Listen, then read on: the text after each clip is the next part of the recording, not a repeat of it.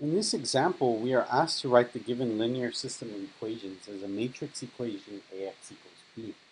Now this is actually really simple, um, and this is actually going to lead up to us using inverses to solve systems of equations, and it can be systems in multiple variables.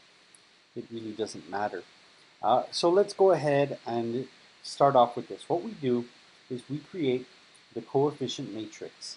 So we first create the coefficient matrix and we preserve the order. So be sure that, you know, if this is your x column, this is this is your x column, if this is your y column, this is your y column.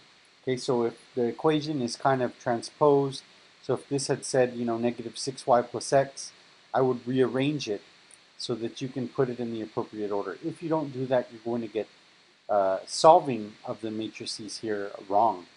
Uh, so let's go ahead and write that.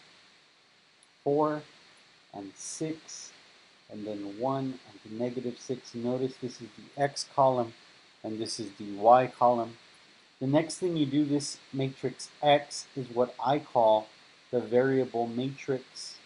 So this is the coefficient matrix, this is the variable matrix, and know that if you were to do this multiplication, uh, this row by this column, you'd get 4x plus 6y, and here you'd get x minus 6y if you did the multiplication here. Okay, so this is what I call the variable matrix.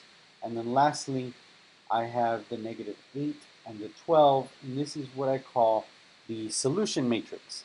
So the answer to this question is this right here. We don't actually have to solve it. We just write this out, and it's really quite simple. Okay, in another video, we'll show you how to go ahead and solve a system, and we're going to make that a harder system to solve but it'll be very easy as you'll see just by using this approach.